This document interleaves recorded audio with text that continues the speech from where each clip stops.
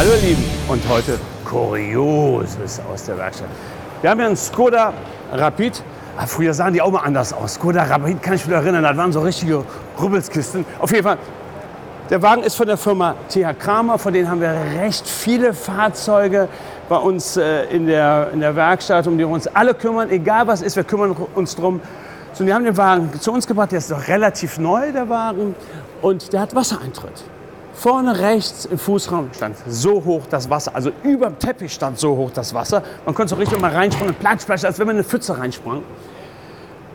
Und wir, oh, oh, oh, da ist irgendwas undicht, Windschutzscheibe. Ne? Haben wir ja öfters mal, dass hier die Windschutzscheibe irgendwie undicht ist, dass das Wasser reinläuft. Oder vorne die, die, die Abläufe nicht in Ordnung sind vom, vom Windfang oben, ne? dass da jede Menge Wasser reinläuft, raufsteigt und über die Heizung ins, Wasser, ins Auto läuft. Wir also erstmal den Sitz ausgebaut, den Teppich ausgebaut. Hier die ganze Mittelkonsole hier, das hatten wir alles komplett raus. Alles ausgebaut, haben dann alles trockengelegt, haben erst mal zwei Tage gebraucht, bis das alles trocken war, Heizung rein und und und.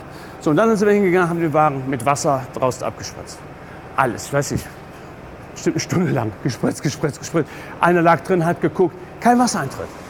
Und, hä, wie geht denn das? Irgendwie muss das Wasser ja da reinkommen. Dann haben wir festgestellt, dass das Wasser, was wir da rausgeholt haben, total sauber war. Das sah aus wie destilliertes Wasser. Wo kann das herkommen? Eigentlich nur von der Klimaanlage. Habe ich hier drüben mal so ein Modell, könnt ihr euch mal angucken. Klimaanlage, hier vorne ist der ähm, Verdampfer. Dieser Verdampfer wird hier relativ kalt durch die Luft, die durch den Verdampfer durchgebracht wird. Und was passiert, wenn etwas kalt ist und es kommt Luft dadurch, wie meine Atemluft? Kondens. Ganz viel Kondens. Und das ist so extrem. So extrem ist das. Jetzt muss ich erstmal. So extrem, dass, dass es abtropft, dieses Kondenswasser, sammelt sich hier unten in diesem Auffangbehälter und tropft dann hier über diesen Anschluss vorne im Motorraum ab. So ein Ding, das sieht wirklich so ähnlich aus wie in dem, im Fahrzeug. Das ist der komplette ähm, Heizungskasten mit Verdampfer. Hier unten ist der Wärmetauscher von der Heizung und mit sämtlicher Verstellung, mit pneumatischer Verstellung. Auf jeden Fall dieses Kondenswasser scheint also, haben wir gedacht, nicht abzufließen. Haben wir gedacht, dass dieser Stopfen, dass dieses, dieser Anschluss vielleicht zu ist, das Wasser hier hochsteigt und dann irgendwie in den Innenraum läuft. Aber warum dann nur rechts? Okay, wir haben uns auf jeden Fall auf die Suche gemacht und was wir dann gefunden haben, will ich jetzt, jetzt mal zeigen. Und eigentlich heißt diese, dieser Beitrag nicht, äh, wie finde ich ein, ein, ein, Wasserloch oder wie finde ich äh, Kondenswasser, was eintritt, sondern der heißt, wie ist die Kommunikation in einer Werkstatt? Kennt jeder, auch zu Hause. Man sagt dem einen was, der nächste, der nächste, der nächste. Man sagt seiner Frau was, die sagt, das, hat das ganz anders aufgefasst. Wie ist die Kommunikation in der Werkstatt? Wie werden die Worte weitergegeben? Was hat der Annahmemeister überhaupt verstanden? Und das vierte ist, wenn ein Mechatroniker im Physikunterricht alles um Kondenswasser geht, leider krank war oder geschwänzt hat. Auf jeden Fall nicht da war. So, jetzt gucken wir uns das mal an. Der Wagen läuft jetzt schon im Moment. Wir heben den jetzt mal rauf. Der läuft jetzt schon, ist schon auch relativ kalt innen drin. Heben den jetzt mal rauf und dann kann man von unten gucken, wie das Kondenswasser dann dort aus diesem Behälter langsam abtropft. Das tropft hier überall raus. Hier an den Stellen, das wird einfach abgeleitet an der, an der Spritzwand lang. Ja, und hier ist alles, das ist jetzt, wir haben den Wagen mal gerade ein paar Minuten laufen lassen. So, und das Kondenswasser läuft natürlich hier irgendwo ab, an der Spritzwand runter, läuft es ab, tropft hier raus, tropft hier raus. Das ist auch ganz normal. Aber, boah, ist das laut hier. Höllisch laut hier. Also das Kondenswasser, nochmal, da ist das Schwein laut gewesen da oben. Das Kondenswasser kommt aus diesem Anschluss raus, wie ihr das vorhin da drüben gesehen habt. Ne? Und dieses, ich hole das nochmal ran, vielleicht kann man das dann noch besser verstehen. Also dieser Heizungskasten sitzt so in Fahrtrichtung da oben drin. Und hier ist im Prinzip nur so ein kleiner Schlauch drauf. Hier ist die Spritzwand. Und dieser Schlauch kommt hier raus und diesen Nippel, den ihr gerade gesehen habt, Da tropft das ab. Aber tropft natürlich auch auf die Spritzwand und läuft irgendwo dann unten rechts und links ab. Und wenn man die Menge sieht, schon der Hammer. Ne? Das kann man schön äh, auffangen und zu Hause fürs Bügeleisen braucht man, da relativ wenig äh, Kalk drin ist. Genau. So, jetzt kommt noch mal folgendes Problem, was wir relativ schnell gefunden haben, dass uns klar war, okay, es geht hier nicht um Regenwasser, weil Regenwasser wird dreckiger. Regenwasser wird auch anfangen zu riechen. Da muss irgendwas an dem, an dem äh, Heizungskasten sein. Wir haben dann noch mal weiter auseinandergebaut und kamen dann zu dem Punkt, oh oh, da ist das Problem und zwar, kommt ihr mal mit, hier vorne haben wir den Teppich schon ein bisschen gelöst. Äh, warte mal, guck, guck doch mal unten rein, ich gehe mal auf die andere Seite. So, und wenn ich das angucke, da unten tropft es massiv rein. Hier, das ist ein, ein Blech, was davor sitzt und da ist irgendwas an dem, an dem Blech, an dem Blech undicht. So, und wenn man sieht, wie viel Wasser da draußen raustropft, Guck dir an, die Menge, was, wie das da abtropft.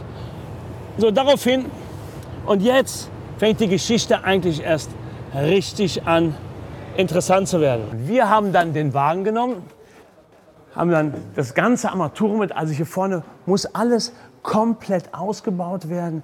Das ist eine Arbeit, ich schätze mal so von sechs bis sieben Stunden. Dann muss der Heizungskasten abgedichtet werden haben die Firma angerufen bei der Firma Thea Kramer, haben gesagt, so und so, das muss alles raus. Dann sagten die, nee, nee, Herr Pasch, wir haben da noch Garantie drauf. Und ich, wie? Noch Garantie? Ja. Der Wagen ist innerhalb der 24 Monaten. Und, uh, da haben Sie aber Glück gehabt, super. Dann brauchen Sie diese ganze Arbeit nicht zu bezahlen. Und dann sagte dann äh, der Herr von der Firma Thea Kramer, okay, wir bringen den zum unserem Händler. Ne? Und habe ich gesagt, ja, nee, bringt den nicht dahin. Ich habe eine Empfehlung, bringt ihn lieber zu dem Händler. Das ist ein kleinerer Händler. Da sind Fach, richtig gute Fachleute, die kenne ich auch gut, mit denen kann ich mich unterhalten. Okay, da haben wir gesagt, ich kümmere mich drum. Ich dann bei der Werkstatt angerufen, ist das mal auf, wir haben den kompletten Wagen aus. Also ihr müsst euch vorstellen, alles war raus. Sollen wir das so lassen? Ihr könnt es dann direkt sehen, da ist unten ein Kondenswasser, tropft da rein und und und. Also kein Regenwasser, Kondenswasser. Nein, ihr müsst ihn zusammenbauen. Ich sage, warum? Äh? Wir bauen wieder alles zusammen, ihr baut wieder alles auseinander. Was soll das? Ja, wie eine Garantie und so. Gut. So, und jetzt Werbung. Holt euch Vocanto. Mit Vocanto brauchst du kein Fachkundebuch mehr. Du kannst alles am Computer, Handy oder Tablet simulieren. Das Lernen ist viel einfacher und leichter verständlich. Vocanto ist monatlich kündbar. Vocanto kostet für Azubis 9,90 Euro und für Lehrer und Ausbilder 15,90 Euro im Monat. Also, Probier es aus. Wir können es nur empfehlen. Unsere Azubis arbeiten schon mit Vocanto. Wir können das nur empfehlen und die haben auch richtig Bock daran. Also schaut es euch an. Und wir zwei machen Mach weiter. weiter. Okay, wir wieder alles zusammengebaut, komplett zusammengebaut, haben den Wagen dann dorthin gebracht. Ich dann nochmal telefonisch mit ihm besprochen. Achtung, es ist kein Regenwasser, es ist Kondenswasser, was austritt. Ja, Okay, alles klar, machen wir. Das war donnerstags. Montags habe ich angerufen bei der Firma hab gesagt, und habt ihr was gefunden? Ja, nee, der Meister, der das gemacht hat, der ist jetzt im Urlaub. Sag ich, oh, dann gib mir mal den neuen anderen Meister, der für zuständig ist, damit ich ihm das auch noch mal erkläre. Er ans Telefon, ich sage, hat der Meister Ihnen das alles erzählt, was ich gesagt habe? Nein, ich weiß von nichts, da kommt nur Wasser rein. Ich sage, boah, kann doch nicht sein. Also, nochmal, es ist kein Regenwasser, es ist ganz klar Kondenswasser. Aus der Klimaanlage, aus dem Wärmekasten tropft es in den Innenraum rein. Wir haben da bestimmt, also ich schätze mal sieben bis zehn Liter rausgeholt. Also guckt danach. Ja, okay. Eine Woche später, das war jetzt vor zehn Tagen, eine Woche später ruft er an, es ist nicht zu finden. Wir haben da stundenlang Wasser draufgetan von außen. Ich sage, Entschuldigung, Kommunikation, ich habe auch ganz klar gesagt, das ist kein Regenwasser, das ist Kondenswasser. Kondenswasser in der Menge kann nicht sein, dass da reingeht. Doch, es ist Kondenswasser. Okay, dann gucken wir nochmal nach. Also ihr müsst den Teppich rausnehmen, da ist so ein schwarzes Blech, wie ihr ja auch gerade gesehen habt. Da tropft das Wasser ab. Okay, alles klar, machen wir. Wieder vier Tage später, Folgewoche Donnerstag, rufe ich den Meister an und sage, da ist nichts. Das kann doch nicht sein. Sag ich, habt ihr den Teppich rausgenommen? Ne? Ja, ja, haben wir gemacht. Ne? Ein Moment, ich frage nochmal nach. Ist mit mir in die Werkstatt, dann war dann der Mechatroniker da, oder der Karosseriebauer, ich weiß nicht, wer es genau war. Hat dann gehört, hast du den Teppich rausgenommen? Ja, ja, habe ich gemacht. Ja, da muss und nein, nein, da ist das Auto ist total trocken, da ist überhaupt gar kein Problem. Ich sage, bin ich denn blöd? Also, ist das so? Ja, es ist kein, kein Wasser drin. Das gibt's doch nicht. Ich zu meinem Händler hin, den Wagen hier hingebracht und so steht er jetzt hier. Ich denke, das gibt's gar nicht. Wie kann man denn das? Uns tropft es hier rein. Und da ist mir eins aufgefallen. Auf der Fahrt hierhin, das müsst ihr euch mal anschauen. Robert, du gehst am besten mal von der anderen Seite. Dann kann man das, kann man das besser sehen. Lass den Wagen jetzt nochmal laufen. Auf der Fahrt hierhin ist mir aufgefallen, dass Umluft an war. Habe ich gesagt, Umluft? Ja, ist er denn voll dämlich? Und das ist die Situation, wenn man nicht in Physik auf, aufpasst. Wo kommt denn Kondens her? Wenn ich jetzt auf Umluft stelle, saugt er sich ja die Luft hier aus dem Innenraum wieder rein.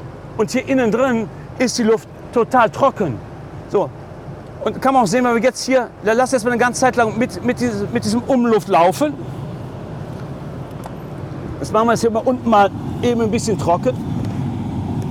So. Naja, wir, wir, wir warten, jetzt, jetzt tropft noch was ab, weil das jetzt noch der, der Rest ist. Wir warten jetzt gleich mal ab mal zwei, drei Minuten und dann werdet ihr sehen, ob da unten noch was rauskommt. Warten, zwei Minuten.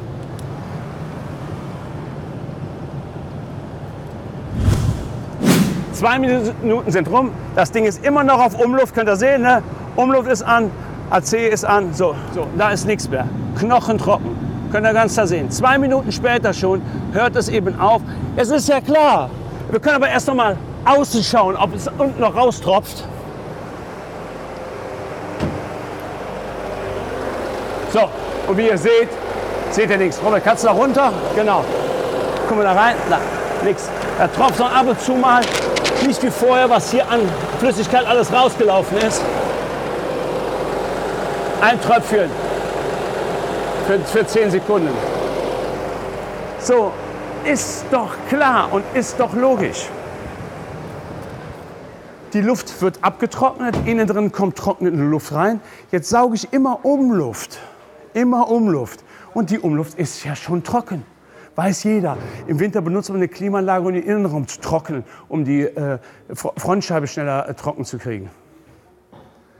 Verstehe ich nicht. War ja sehr wahrscheinlich im Physikunterricht nicht da.